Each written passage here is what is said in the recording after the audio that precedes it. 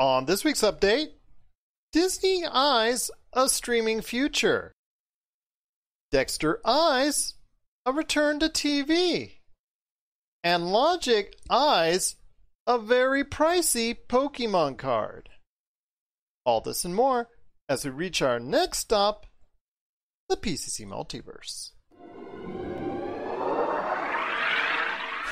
Don't be alarmed. The quasi shimmering light before you is a trans dimensional gateway to other worlds, other voices, other thoughts, and other realities.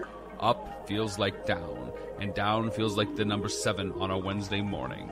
Don't worry, that quivering, blood boiling sensation under your eyebrows is all a part of the charm. Welcome to the PCC Multiverse.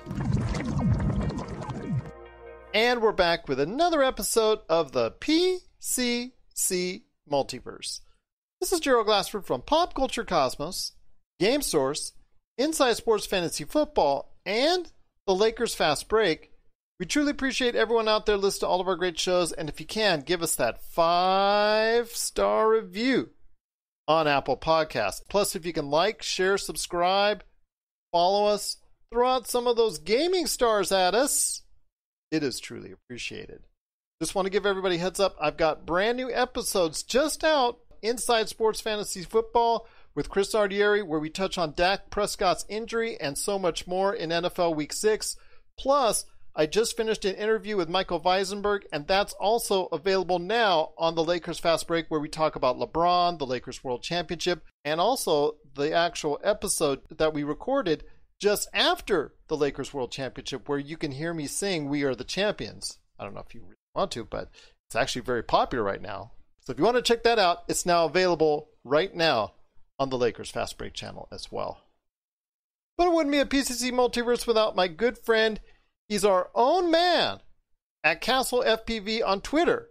You got to reach out to him there or everything that he's doing as far as in his world is concerned. It is my good friend indeed. It is the man talking some expanse later on in the show and Ted Lasso. It mm. is Marcus de la Garza. And Marcus, great to have you back on once again. Great to be back on. Looking forward to another great episode. And uh, apparently, we have some Ted Lasso beef. So I'm looking forward to this one, man. I don't want to say it's a beef because you're a good man. And I really feel like the bad guy in this situation. So oh, we'll talk no. about that on the back end of the show coming up here about Ted Lasso. But before we do, we're going to talk about a lot of great things, including Joaquin Phoenix becoming Napoleon for Ridley Scott. That's a possibility. Coming to America is coming to Amazon. Adam McKay's got a big movie lined up with a lot of stars. And also, would you pay 200 plus thousand for a Pokemon card? Logic did. And we'll talk about that on the back end of the show. Plus, we have our usual monthly update with our good friend indeed. It is Jessica Boggs from the TV Ratings Guide.com. But my friend, first and foremost, Disney, in what right now would probably be the most obvious of things to go ahead and announce. Earlier this week, they went ahead and talked about with investors that they now have a, I guess, a more direct approach, a reorganization of the entire company, and how the focus, shock upon all shockers, actually not, is now going to have streaming with Disney Plus, Hulu, and ESPN Plus. Read the lines through there, my friend, aka Disney Plus, which is now the hottest of the three. Yep. They're going to go ahead and focus more on that, even more with content galore coming there, as far as even more priority on what projects they're going to go forward. This time last year, it was like wave after wave, month after month of Disney movies hitting the theaters. In the not, it and they were killing it. In the not too distant future, you will see a reprioritization of that because as the marketplace for the movie theaters is going right now into the tank, they're realizing now the value of going ahead and making streaming a priority for their company going forward. This is huge news. And I mean, you really set the stage for us there, Gerald we've done irreparable damage to the entertainment industry with COVID and the way that we're going to consume media moving forward. And so this is the first major company we're seeing do some some audibles here and look for a way out. And that's where I'm starting to get excited. We're starting to pump these streaming platforms. And as much as I want us all to be back at the movie theater, at least we have a company that's starting to look forward and see how we can connect with consumers year over year in the next five years, 10 years, whatever it is. This is definitely the push that we want to see as consumers, but we hope that the money stays there with it. You know, as well as I do, Gerald, that piracy is a, a killer and I know it's it's easy for all all of us to kind of you know sit back and laugh about it, but I worry about how the streaming platforms will fare moving forward if piracy becomes an even bigger issue than it already is.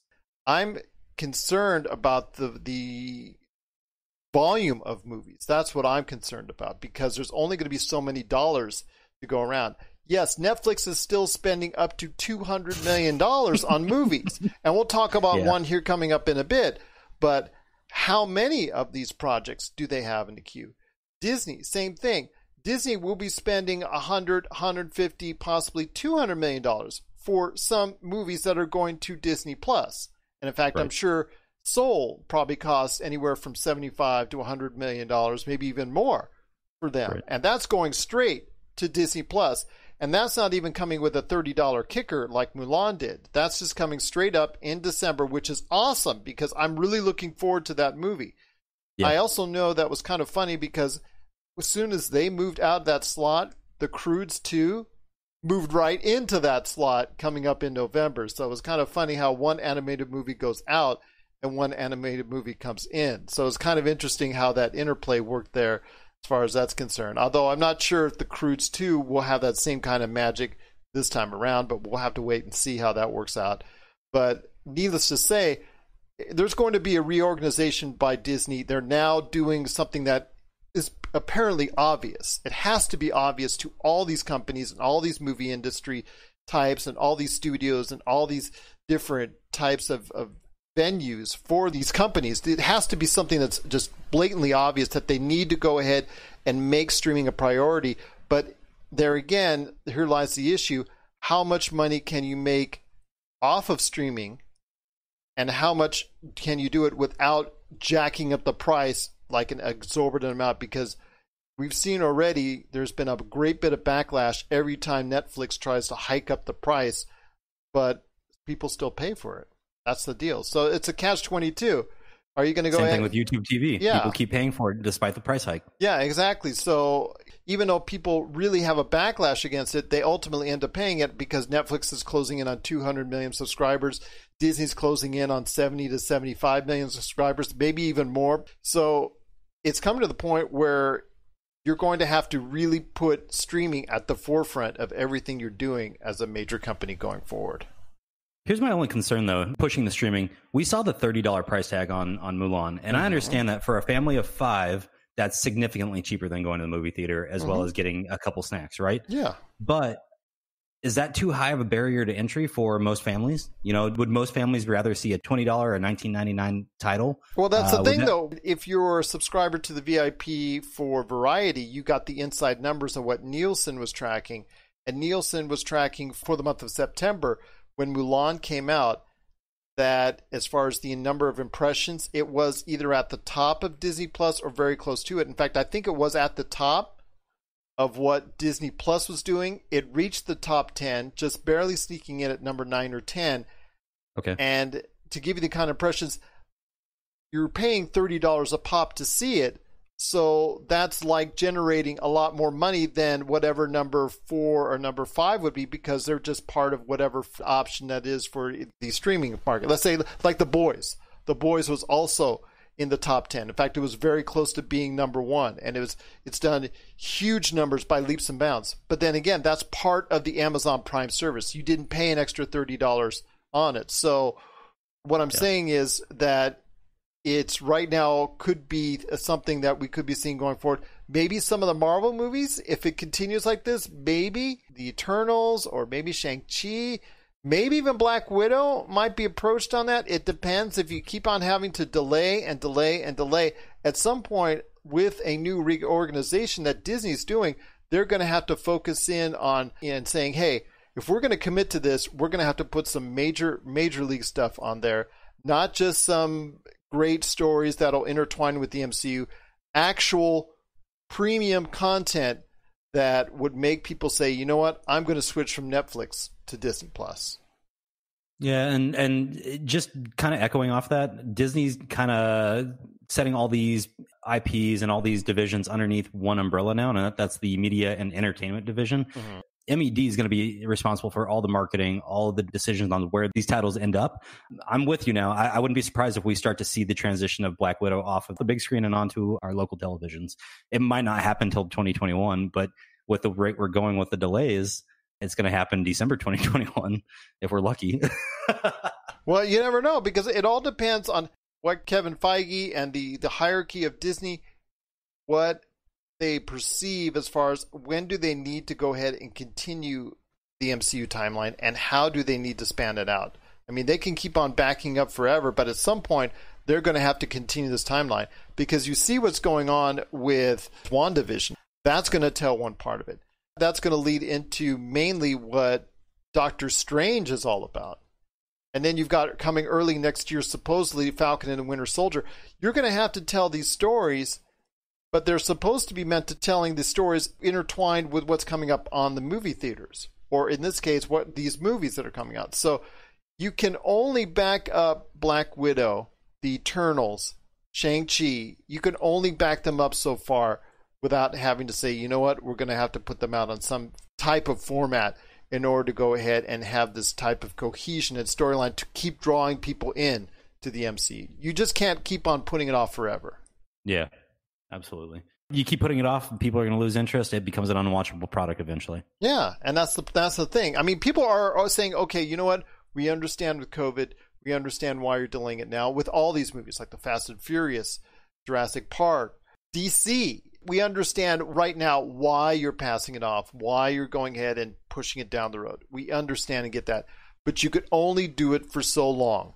I mean, you can only have Wonder Woman 84 sitting on the shelf for so long before you have to say, you know what?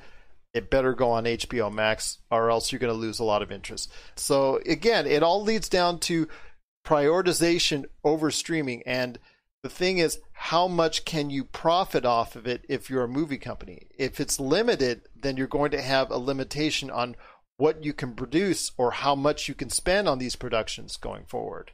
Disney making some big decisions, and they finally did this week, and I'm I'm very proud of them for doing that. They're going to push the industry forward. What are your thoughts out there on Disney reorganizing everything as far as how they're going to go ahead and approach the future? They're structuring everything more importantly around the streaming outlets, obviously the Disney Plus, Hulu, ESPN Plus, and going forward, looking more towards a streaming future. Share us your thoughts, popculturecosmos at yahoo.com. Hey, this is Chad from Ghost Toasters, and you're listening to Pop Culture Cosmos Podcast.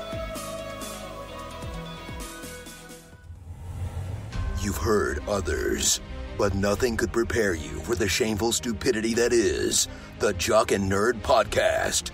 Witness the hubris as they claim to be the world's authority on comic book movies. Who said that? Never said that. We've never said that. Who cares? A jock said that. Comic book, TV, movie reviews, news, and whatever they choose. Available on Apple Podcasts, Spotify, and wherever you find your favorite podcasts. The Jock and Nerd Podcast. Seriously, people really listen to this. Uh. Jock and Nerd! My friend, I wanted to go ahead and touch on some more movie things coming up because it's kind of interesting when you see Ridley Scott. He just did a great series that debuted on HBO Max that was really garnering a lot of critical acclaim, got a lot of viewers interested in what he's doing. Raised by Wolves. I checked out the first couple episodes on, on that. I didn't get a chance to go back, but I will because it was such a great series. Raised by Wolves has garnered a lot of acclaim he's eyeing an epic film, which he's done before, Kingdom of Heaven, that type of deal. I mean, that's one yep. of Josh's favorites. You've mentioned how much you've enjoyed it. I love that movie. Yeah, you both love that movie. I thought it was pretty good. He's going to go ahead with another epic movie. He's going to have it reuniting with another friend of his, Joaquin Phoenix, coming off the Joker. This time, Joaquin Phoenix will be playing Napoleon. So I want to hear your thoughts. I think this performance will break a lot of the stigmas and a lot of the perceptions that many of us have in regards to Napoleon, as far as what he did, what he didn't do, even how he looked and how he was portrayed. So I want to hear your thoughts on Joaquin Phoenix in the not too distant future, serving his time as Napoleon in Ridley Scott's next epic film. I don't know why. When I heard this news, I pictured somewhere between King Commodus and the Joker, and that's what Napoleon's going to be. You've got a strategic mind that's second to none when it comes to military strategy, and then you also have somebody that's just a wild card when it comes to Napoleon. When you're talking about the man, I'm with you. He's a man that doesn't get enough credit, and he gets a lot of the jokes because he was a smaller statured man. He wasn't as small as a lot of people think. so that's part of the thing. His description is everything. It's going to break a lot of those stigmas that people have on him right now. Absolutely. And so I'm really looking forward to this movie. So just the the little bit that I've read on it and the little bit that I've I've kind of heard, this is going to definitely going to be a war strategy movie with a lot of personal touch in there. So you get a lot more of that feel of Napoleon, why he thought the way he did, why he did the things he did at the time. It feels like there's going to be some stretches made, but we'll see. We'll see. We'll see indeed. But I'm excited to see how Joaquin one of the world's greatest actors right now. Obviously, he has a career that is very much revered and appreciated. And of course, his turn as the Joker is something that a lot of people didn't think was possible because of Heath Ledger's performance in the Joker, that no one would ever approach that type of performance. And he was able to do so in a performance that was very comparable as far as just the quality of it as what we saw from Heath Ledger. So I'm very interested to see where both him and, of course, Ridley Scott directing him can take an epic to include Napoleon. Is it going to be based off of Napoleon himself and just you know how he saw things at that period of time, or is it going to be him just playing a role in it? We're going to wait and see. But it is going to be something very interesting as Joaquin Phoenix takes up the mantle of Napoleon coming up for a Ridley Scott film. What are your thoughts on Joaquin Phoenix as Napoleon? We'd love to hear your thoughts. PopCultureCosmos at yahoo.com. Another movie that's been talked about as far as over the past few months is Coming to America, the sequel to the big hit of the 1980s, which I was surprised it never actually happened or never materialized in the 80s or even in the early 90s. It's now being realized so many years later, but it moved from Paramount to Amazon Studios, which is kind of interesting as far as it's concerned because Paramount is going to be reshaping CBS All Access into Paramount Plus, and if you were sending it straight to streaming, there's no better way to go ahead and start off Paramount Plus than with coming to America. So I'm assuming this transfer to Amazon Studios means that it's going to go, yeah, it's all about money in the end. Absolutely. Maybe Paramount needs some cash. But I want to yes. ask you this. I mean, does this tell you also as well that Paramount is hurting for cash, but that Amazon right now is in a good position going forward to help boost their Amazon Prime even more? Yeah, this is definitely going to just shoot Amazon Prime up even further. It feels like a play out of the Microsoft book right now, where Microsoft went and bought ZeniMax Media and Bethesda Studios, all that stuff. This feels like Amazon's going out and, and just trying to acquire intellectual property for the sake of acquiring and amassing intellectual property. And this is a great thing for them. So they just can't commit, like you said, to the amount of dollars that Amazon and Netflix and now Disney is going to be throwing, and Warner Brothers with HBO Max is going to be throwing so in this high stakes poker game, as far as streaming content is concerned, it looks like, like you said, it comes down to money, and Amazon's willing to pay to go ahead and put Coming to America on their screens, most likely in the not too distant future. Yeah, I made the same assumption, and and I meant do, no disrespect to CBS All Access. I mean, and I'm, I'm I say that with with the fact that I subscribe to CBS All Access. Number one, so I could watch Console Wars, which was outstanding. If you haven't watched it yet, and number two, Lower Decks, amazing. I'm with you. It started off a little bit rough, but it finished great. Yeah, it's sad to watch kind of the intellectual property walk out the door for them, especially when Paramount's got some great things. I think in their library that have the potential to really blow up over the next few years. Well, they have the Mission Impossible. They have Star Trek. I mean, I know Star Trek on a, as far as a theatrical success or lack thereof, it's not been to level. Even though they've had some really good films over the past 25 years that have appeared, like Star Trek 2009, incredible film. Uh, I think the sequel right after it, I thought that was still a very, very good film in my opinion. the third Star Trek didn't do so great for me, and I know it didn't do so great for Paramount, which is reason why that the Star Trek films are now in in the limbo that they are. But again, it comes down to when Paramount gives up a property like that, which could be a good success, and gives that over to Amazon. And I'm assuming, like I said, with this news from Paramount to Amazon, that means that Amazon is going to be airing Coming to America at some point in time or at least maybe de- debuting in theaters before it goes to Amazon Prime. Am- there's no reason why Amazon wouldn't do that without going to that medium. It's just kind of disappointing to see Paramount give up on a property like that so soon, just before it's ready to come out late this year. I think it was the original release date was going to be December, like Christmas Yeah. Day, actually. Mm-hmm. But it, it's not only just coming to America that they've sold. They sold off the Tom Clancy movie that they were getting ready to put out with Michael B. Jordan, Without Remorse. These are big properties. I feel like that we're selling off by Paramount. And you know, I mentioned it with a little hand motion when you were giving the intro on this piece, but this feels like it's all about money. It feels like a cash grab so that they can start putting money into other titles where they're hopefully hedging their bets and going to make some, some serious cash off of to keep pushing the studio forward. I think so as well. I mean, there's a lot of people that really wanted to see this film, and I, I think they're going to be able now to see it on a platform such as Amazon Prime or maybe even the Yeah. movie theaters if it comes out to there. But it just seems like that Paramount Studios does not have the same aspirations or same thoughts on the film as what many other people are hoping for, especially because a lot of people thought that this sequel should have come out a long, long time ago because the original was so creative, was so funny, and it was such a brilliant performance by Eddie Murphy and Arsenio Hall playing all these different characters. You got to remember, it's, they just don't play one character in the film; they play several Yeah. different characters in the film. So it just seems like they're giving up on something that maybe that I would not have if I'm running the company because I think if promoted properly, this could be something that could be a goodwill hit for fans right now.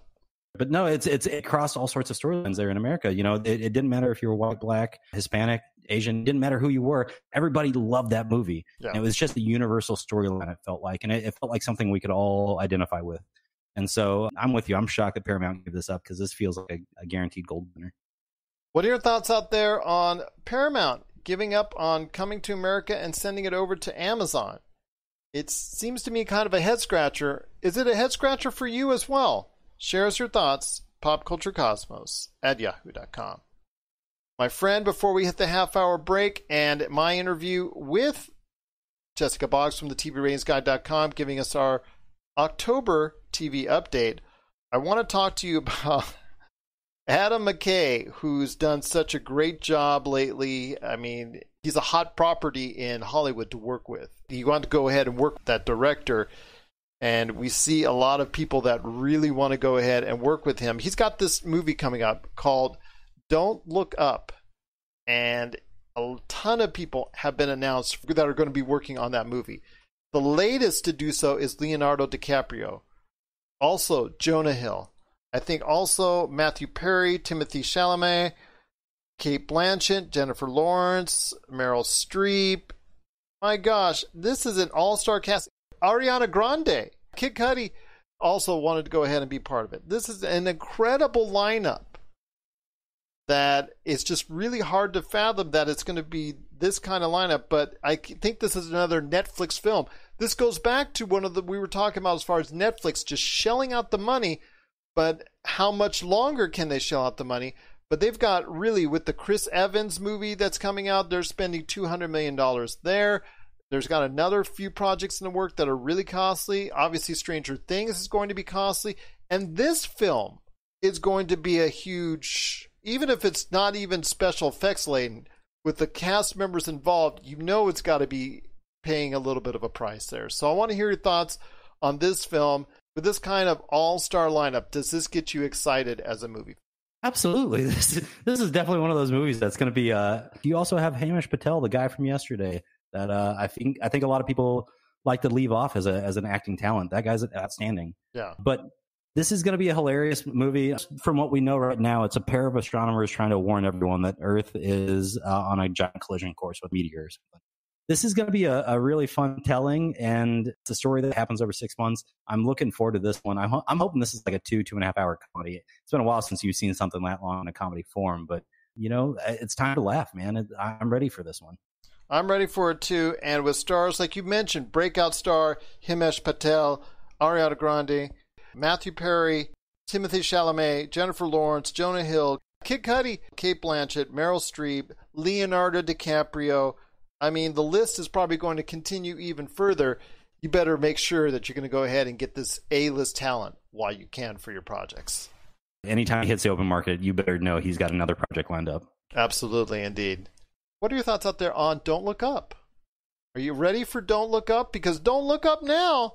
There's a ton of great actors heading over to work on Adam McKay's next movie. Share us your thoughts, popculturecosmos at yahoo.com.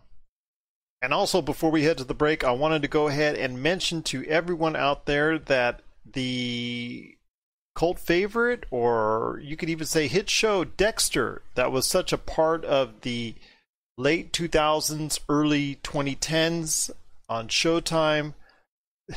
The crazy show that it was with the serial killer as the protagonist and antagonist all in the same measure. I mean, he was the hero and the villain all at the same time, but it was such a interesting show for many people out there. I know a lot of people truly enjoyed it and this got a lot of press and also a lot of interest on our Pop Culture Cosmos Facebook page.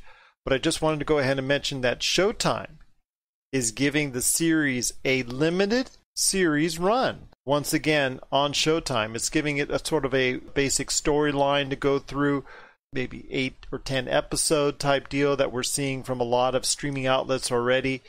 And that will most likely debut at the earliest, maybe this time next year. We'll have to wait and see, but production is going to be starting sometime early next year on a limited series run for Dexter coming back to Showtime. And that show is still beloved by so many people out there. So I know a lot of fans are excited about seeing Dexter once again on Showtime and appearing in a limited series format very soon, hopefully as early as fall 2021. So we want to hear your thoughts out there on Dexter getting a revival on Showtime in a limited series format. Please share us your thoughts. PopCultureCosmos at yahoo.com. Also, as well, you can reach us out on Facebook at PopCultureCosmos, or you can go ahead on Twitter at PopCultureCosmo Pop Culture Cosmos on Instagram or wherever you get your podcasts as well. You can always go ahead and listen to us and leave your comments right where you get your podcasts. Well, coming up right after the break, it's our good friend Jessica Boggs from the TVRatingsGuide.com and Jessica's show. She's going to stop by with her monthly TV update, and in the October TV update, she's going to talk about uh, some shows that are getting unrenewed which has been a trend in the past few weeks for some of these broadcast networks and streaming networks and cable networks too. So we're going to talk about that coming up here in a sec. And then after the break, Marcus and I will return talking Ted Lasso, also as well The Expanse season 5. They debuted a trailer at the New York Comic Con last week. And last but not least, would you buy a Pokemon card for $220,000? The rapper Logic did. We'll explain more at the back end of the show. This is the PCC Multiverse.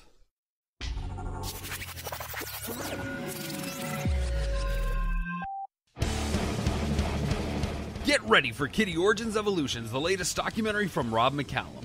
Thrusted into heavy metal stardom as teenagers with their debut release, Kittie has thrashed and conquered the heavy metal world for the past 20 years. Kittie has defied industry norms, fought back against women in rock stereotypes, and inspired generations since they appeared. And now, for the first time, they've decided to share their untold story. Generously peppered with archival footage shot by the band, this film gives you an honest and brutal look at what it takes to survive in the music industry.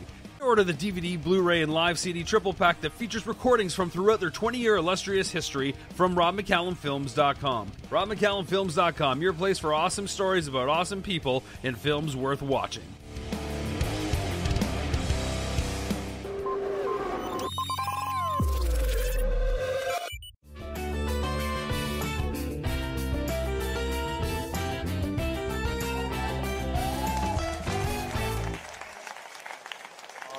With the program. It's Gerald Glassford coming right back at you here at the Pop Culture Cosmos. want to thank you so much for watching and thank you so much for listening right here at the Pop Culture Cosmos.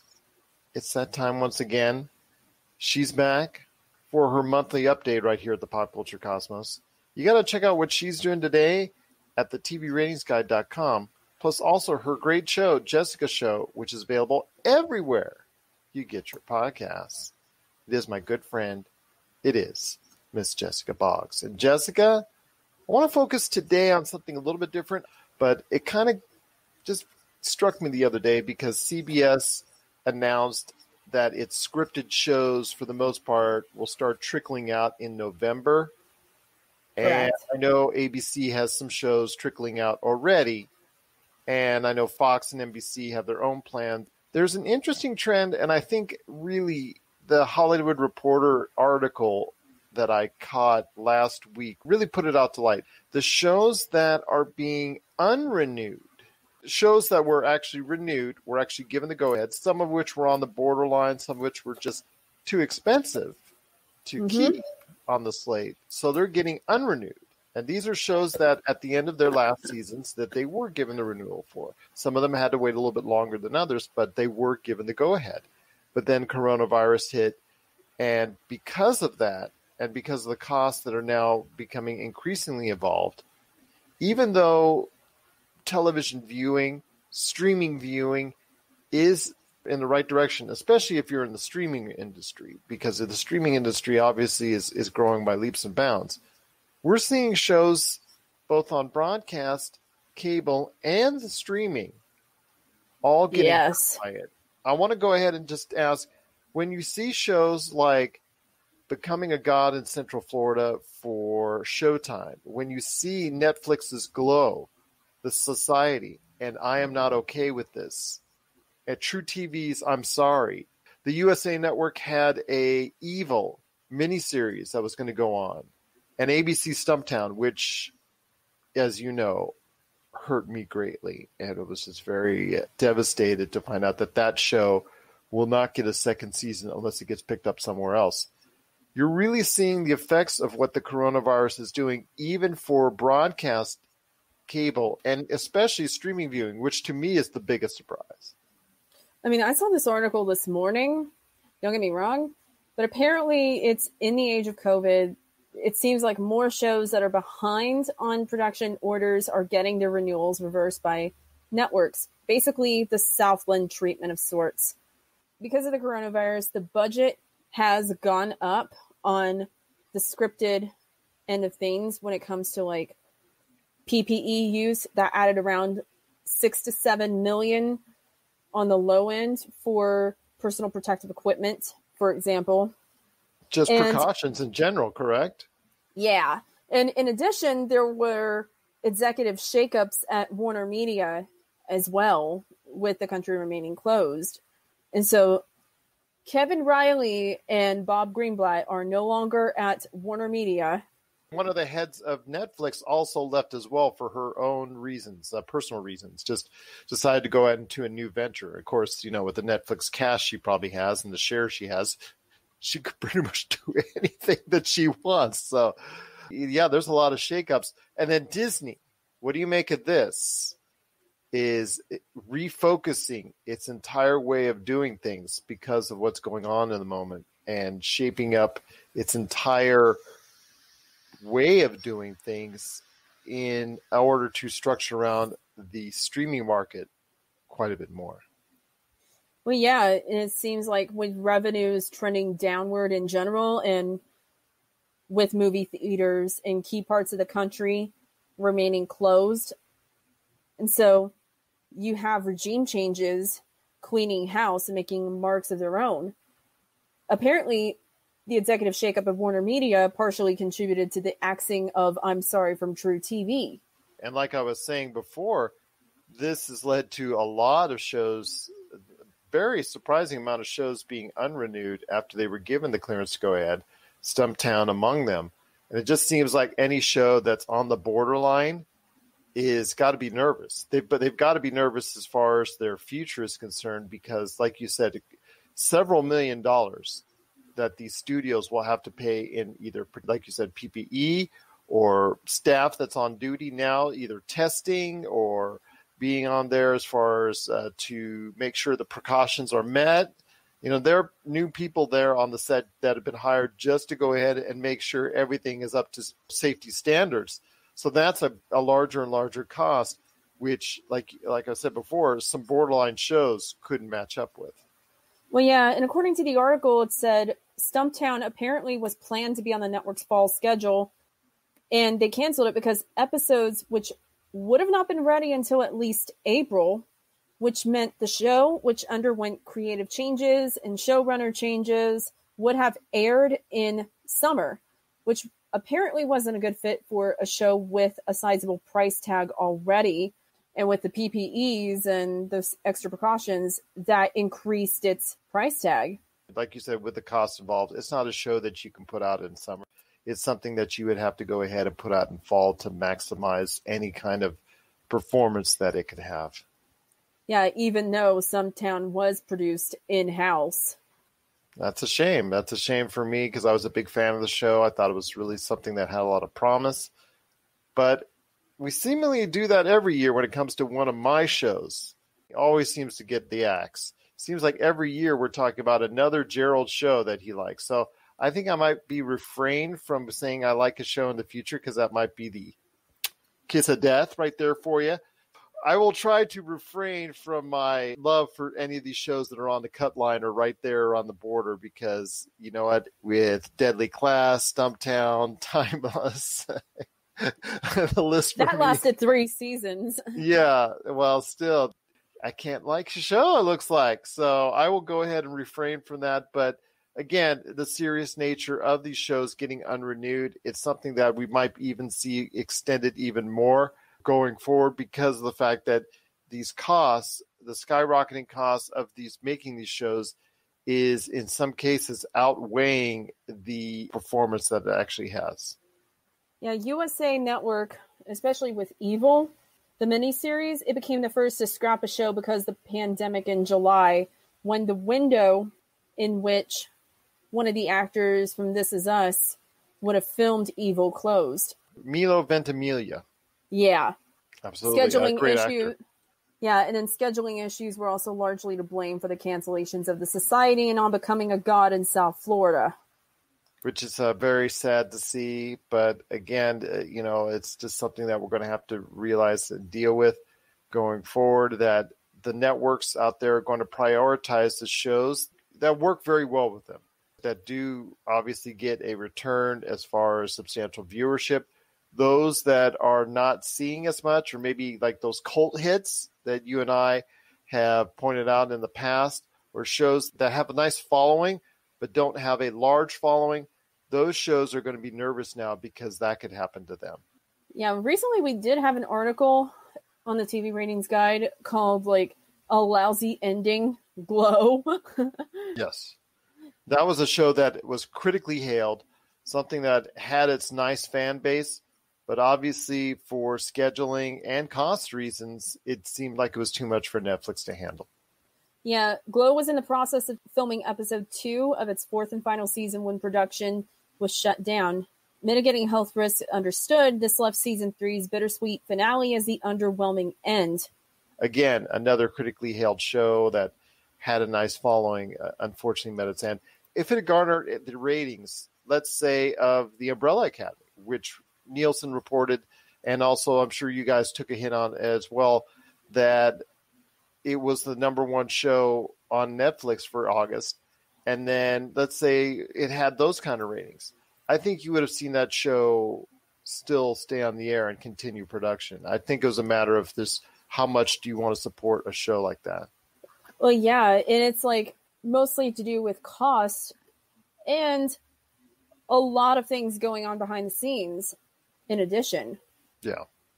Well, again, I have Jessica Boggs from the TVRatingsGuide.com. You got to check out what she's doing today at the TVRatingsGuide.com. And of course, her show, Jessica Show, available wherever you get your podcasts. So I turn the floor over to you before we head on out. What's going on? Any other TV updates? I mentioned that CBS is slowly in the month of November going to start creeping out some of its scripted programming.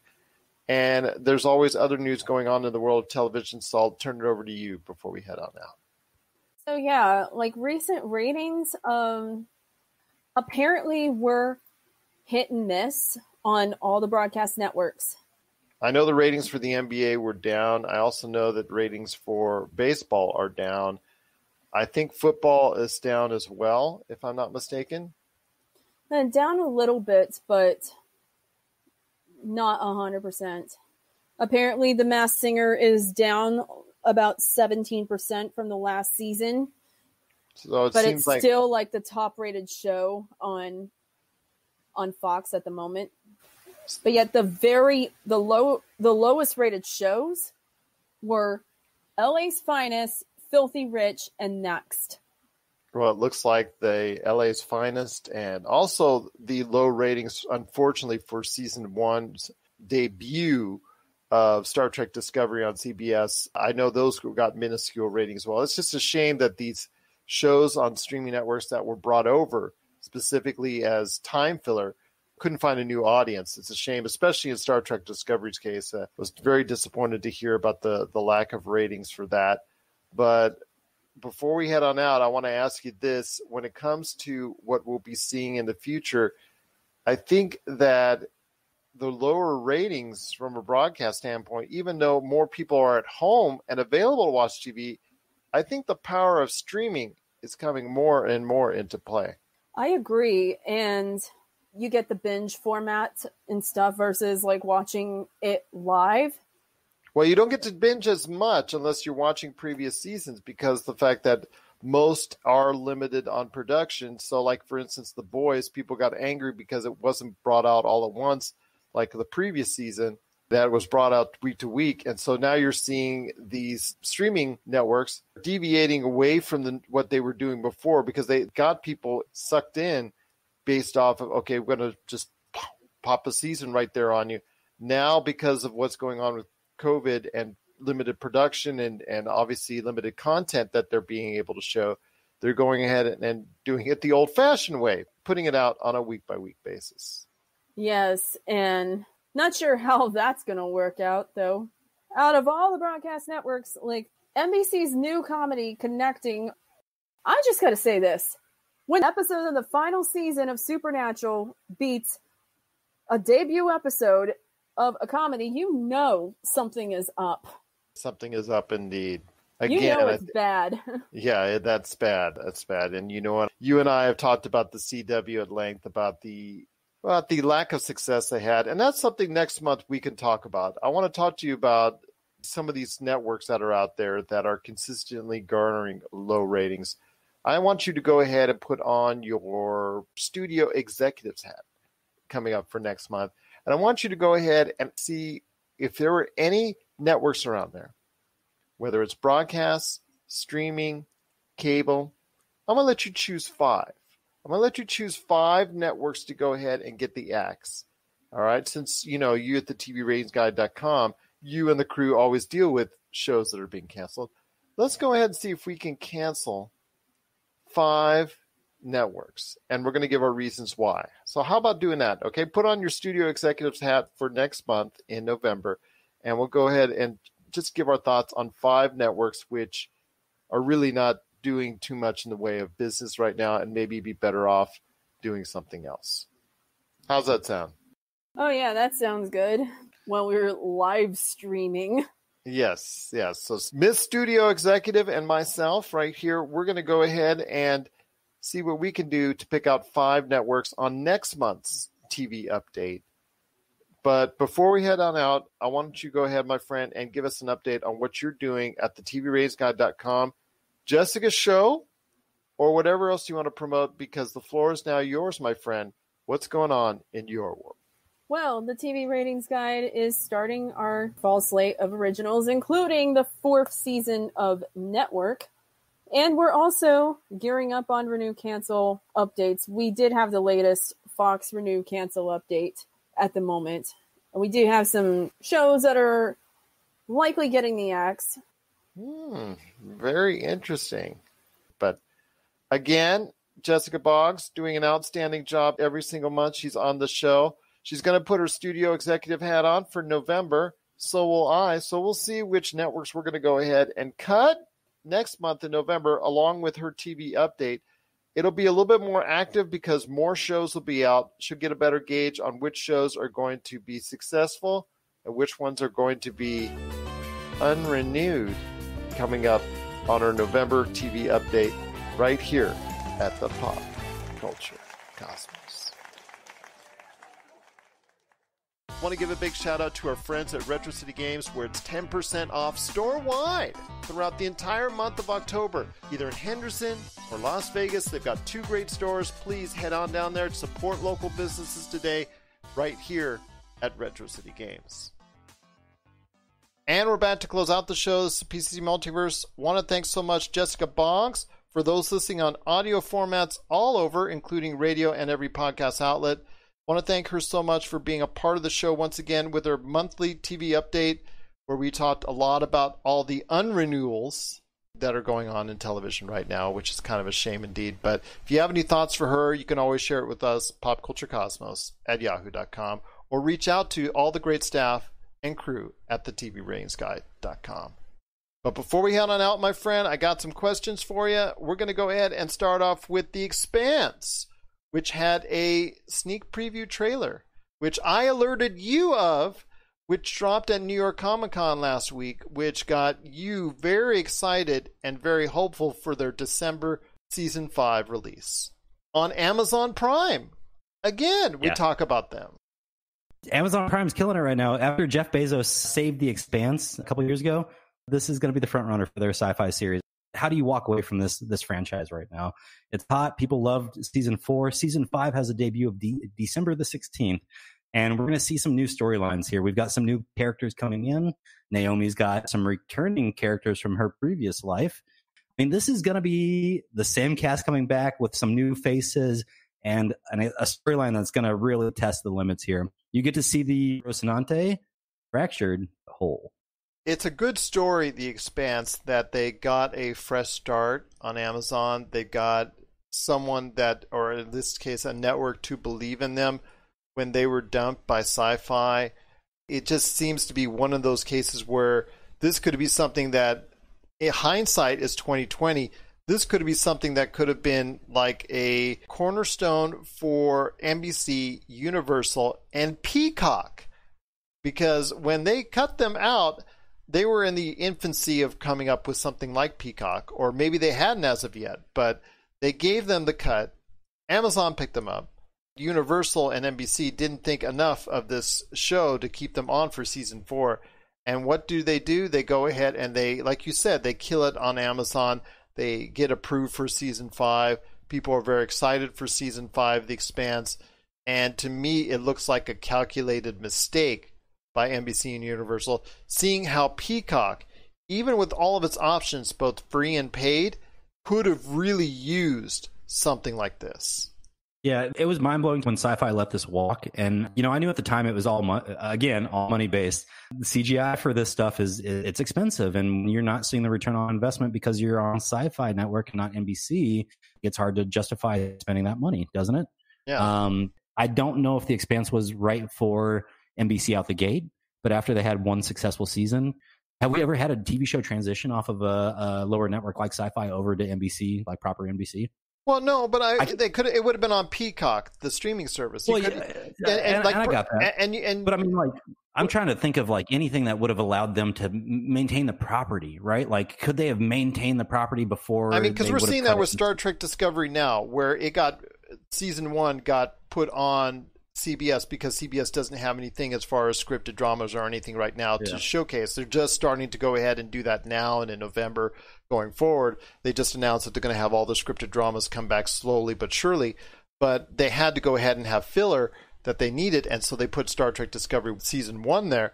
It hasn't gone over well, which is a shame for that show because it's so quality and so well made. But what I'm saying is not put it on NBC in the case of The Expanse, but I mean, if you knew you had something planned as far as for the Peacock network, if you already had some designs on that and you're looking for content, I mean, we saw Brave New World, that movie come out for them with Alden Ehrenreich. and that was a special effects, somewhat laden, a lot of green screen there, and that really wasn't that good or well thought of. And that's not something you want to debut your network with. You could have put a show like The Expanse on there if you're willing to invest money. I would have put my money on The Expanse and having that go as an exclusive to Peacock if that's the case, because you see, obviously, the effects of putting it on Amazon Prime.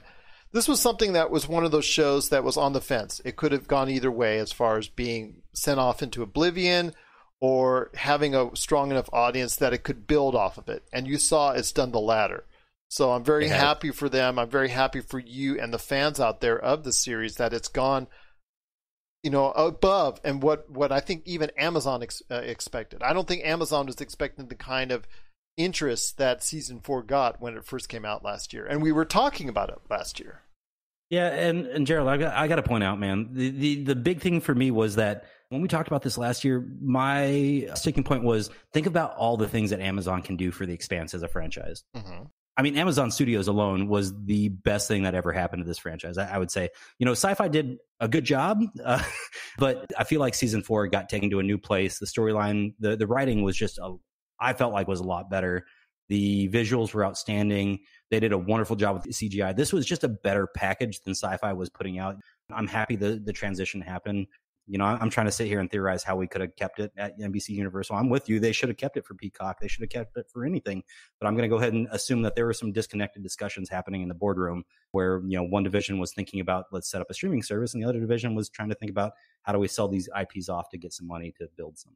Or cut costs entirely.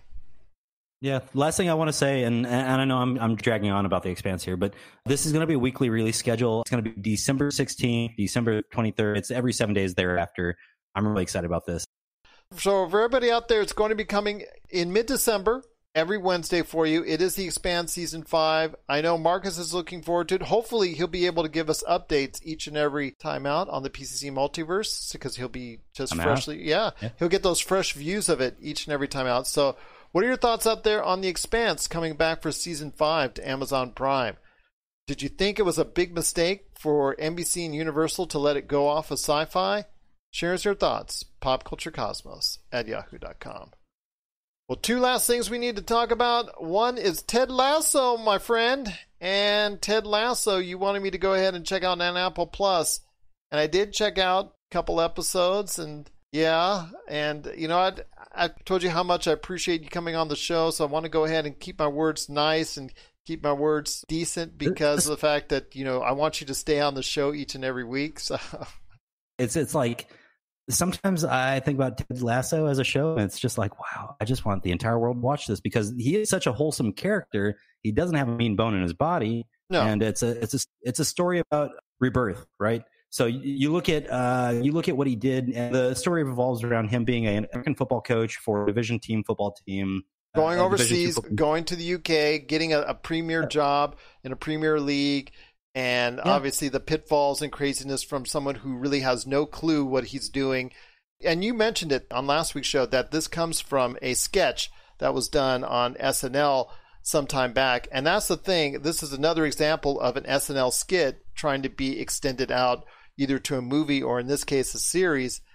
And for me, the joke wears thin. I'm going to be honest with you, man. And it just, Jason Sudeikis, he tries and give him more props, but you know the British humor. I I really get into British humor, especially with certain movies and certain television shows. I've really gotten into it. Yes, we get the idea. Yes, you guys thinks he's an idiot. It's over and over and over, and it beats the dead horse. And they try to do the same jokes as far as him, like you said, everybody calling him an idiot, him letting it go over his head, and him doing something to reinforce the fact that he's an idiot. With sitcoms and comedies as a whole, it's really hard to make me really think that this is good comedy. I don't know why. I just, I honestly don't. and and see, you know, it is a comedy at, out the gate, but it's more of a dramedy for me. I, I don't know. It, it really is. To me, it's a story of rebirth. You look at a man who uh, might have had success on one side of the pond, and he comes to the other side, and it's about him trying to find his way. It gets really goofy, Yeah. so it's hard to put that drama in there, my friend, and take it seriously at all because I know it is is so goofy. It's hard to take it seriously with so much going on that's buffoonery. if you're a fan of sports culture, if you love the background behind the scenes, you know, stuff that goes on in the locker room and a little bit of crass British humor, this is the show for you.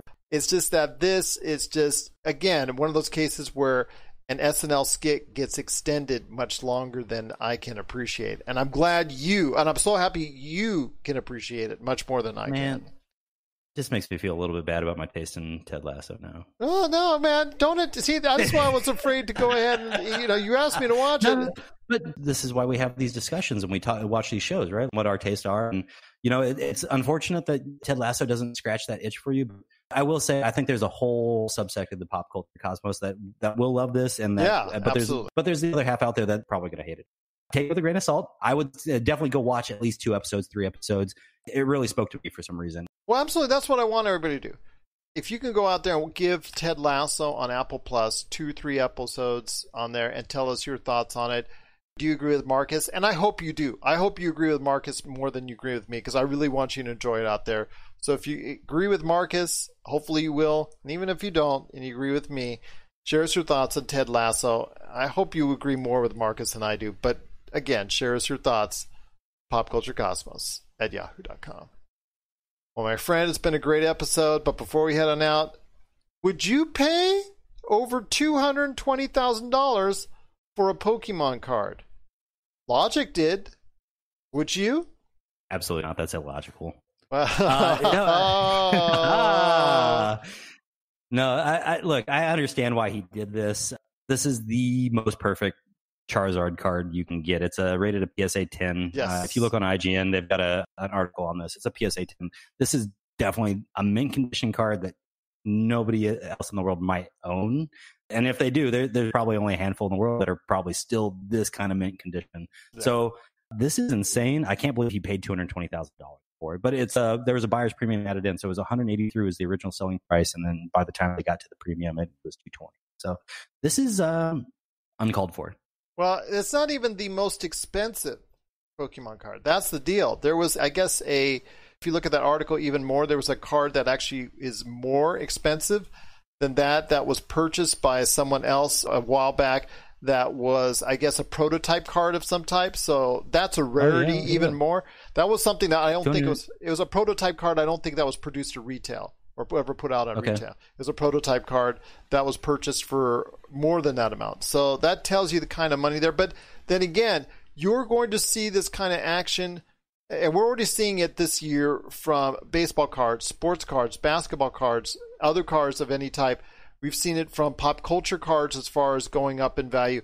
And most importantly, for people out there, if they collect them, Magic the Gathering cards as well. Magic the Gathering cards yeah. are going up and skyrocketing value, and Pokemon cards. So if you have valuable cards out there, my gosh, you better go ahead and start doing what you can to keep them nice, get that dust off them. Make sure you go ahead and get them sealed and get them rated because a Pokemon card that's really valuable could mean a lot of money in your future. I do want to say just really quickly, hold on to those Pokemon cards. They're going the way of the vinyl record. It's going to be very, very valuable in about ten or fifteen years. Come on, Marcus, two hundred twenty thousand dollars. They're valuable now. They are, but think about a, a original pressing Led Zeppelin four or something. Like the, the value on that's got to be insane. Uh, I haven't seen a, an auction on one of those in a while, but they used to be outrageous even at that time. Well, it could be like a Wu Tang Clan vinyl that was only made one of. Yeah, that was yeah. Well, you know the story behind that one. But would you out there pay over two hundred twenty thousand dollars for a mint Pokemon card? We want to hear your thoughts.